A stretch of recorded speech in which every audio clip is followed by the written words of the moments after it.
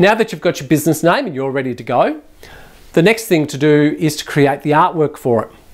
It's fine that you have your business name, but you now need to be able to turn it into an electronic file.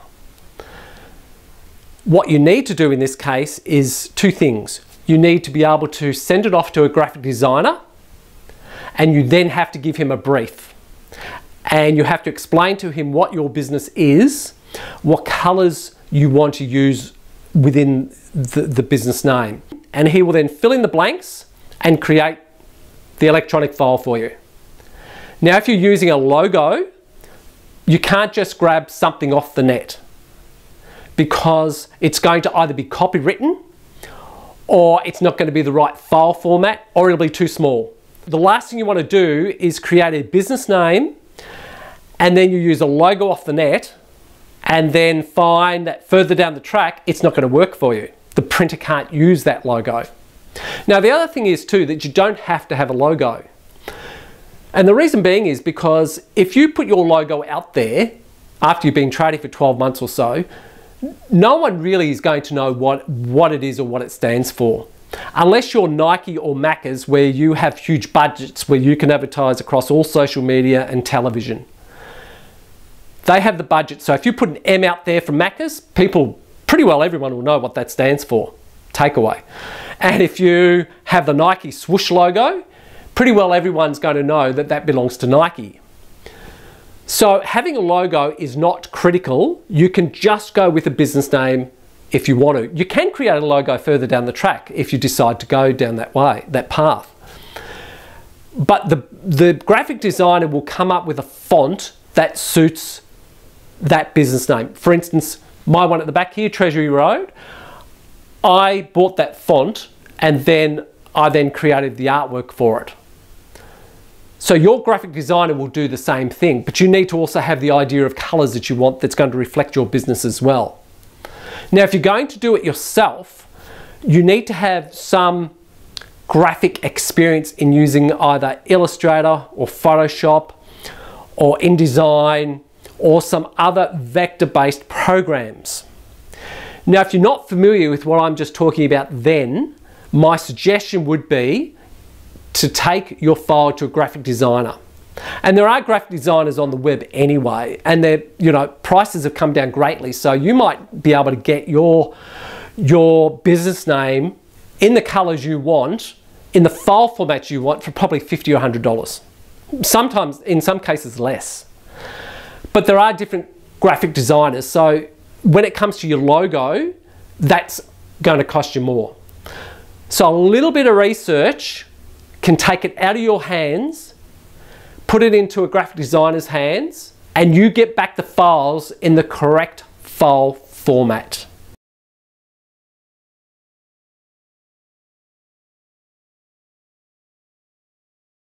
When it comes to files, and we're getting a little techo here, but, but nothing huge. When it comes to files, we'll work on two files.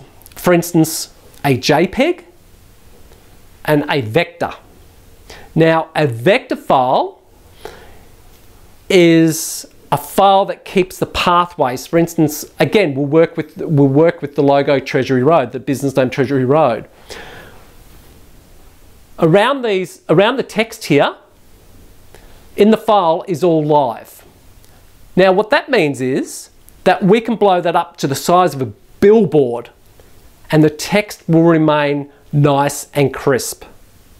You can have it as small as possible and it will remain nice and crisp. That is called a vector file. Now when it comes to a JPEG, which is usually pictures that you see on the web or in a photograph, a JPEG is an image that is flattened, which means that it can only be enlarged so big before it pixelates. So imagine a balloon and it's got an image printed on it. When you blow up, uh, it, when the balloon's small, it's nice, looks quite nice. But when you blow it up, it starts to pixelate and lose its image quality. That is what happens with a JPEG or a TIFF or a bitmap. So if you're doing your business name and it's just all text, you want it as a vector file, which your graphic designer will know that. If you are going to incorporate a photograph into the business name, then although your text will generally be able to be blown up as big as anything, your image that you use cannot be blown up big unless it is a huge file. If you're having a text with a bitmap image, for instance, you could have jewelry in it or whatever the case may be in with your as a backdrop to your business name, then that can only be blown up to a certain size. And if you want it to be blown up bigger, it has to be created a lot bigger. The graphic designer can explain that to you, but that's going to be the basics. If you're just looking at a business name without any other background images, then that will be a vector file and that can be blown up as big as anything. When that vector file has been created by the graphic designer, that can actually be emailed to you. And you can still blow it up as big as a billboard because in the file itself, it has live pathways. And on a bitmap, you can only blow it up a certain size, or a JPEG, you can only blow it up a certain size. So just keep that in mind. You need to know some basics if you're going to create this yourself. A lot of the problems I see out there in the marketplace by people that are doing it themselves is they'll come up with a name, they'll type it out in a program like Word or, or Publisher or some other desktop application. They grab a file from the internet, they put it into Word, and they go, well, that's it, I've created my logo. But in actual fact, it really isn't going to be used that well because the printer is not going to be able to use it. It's, it's, it's, it's fine probably for a business card, but like I said earlier, you need to forward think so that as your business grows, you are able to then produce point of sale knowing that your logo and your business name, and that's if you're using a logo, that your business name, the printer is going to be able to use. So keep that in mind, that's very important. My suggestion is get a graphic designer to do it right the first time, unless you have uh, some skills with a vector program or a bitmap program. And there, there are simple programs out there to use that you might want to play around with, that's fine, have a go. Um, but just be aware that you need to do it correctly to make sure that you can use it further down the track.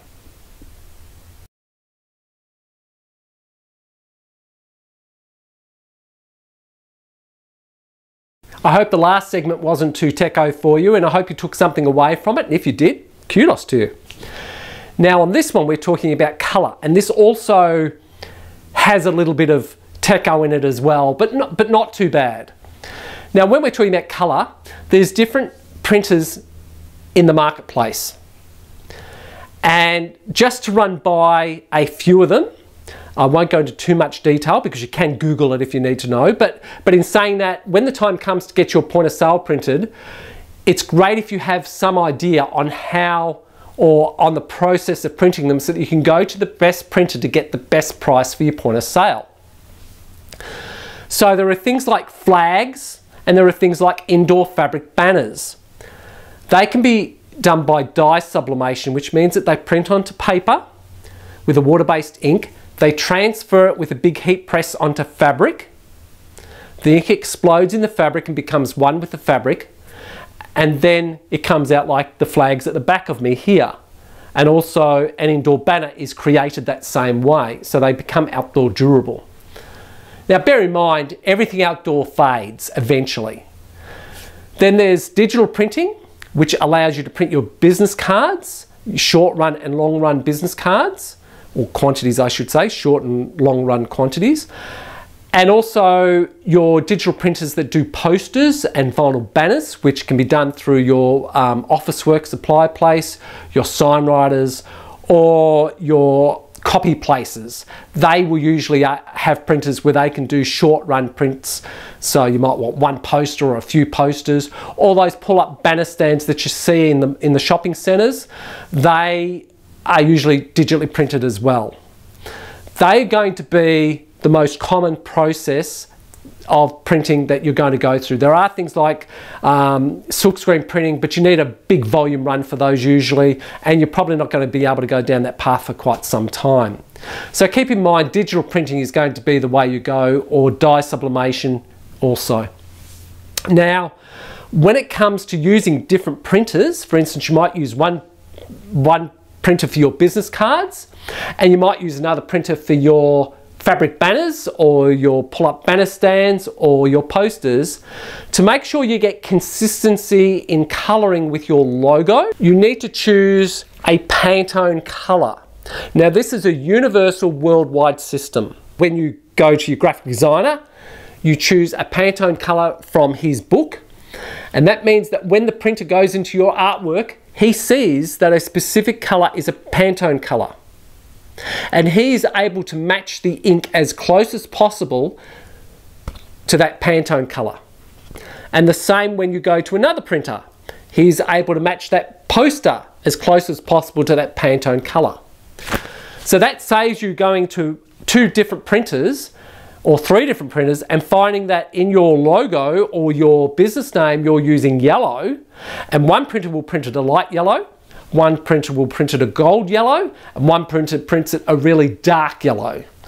By having the Pantone color in your file, which the graphic designer will do for you, that means that your colors are more likely to be consistent across all your point of sale, which means that you will look a lot more professional.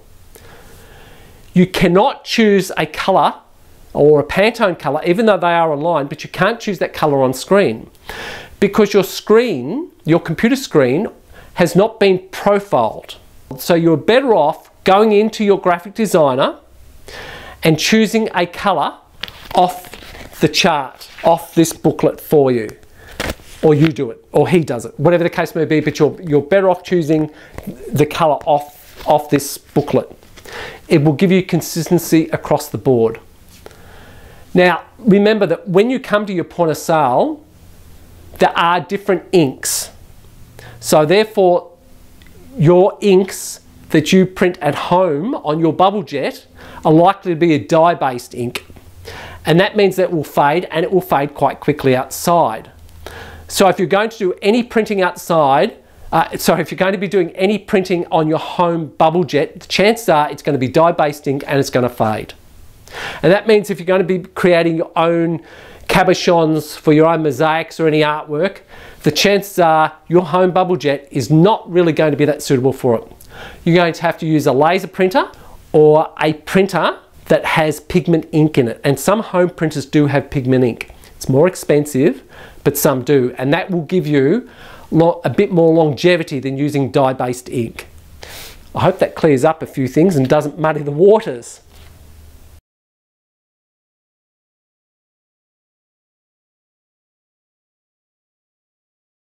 One of the important areas in increasing sales is knowing your target audience, your clients.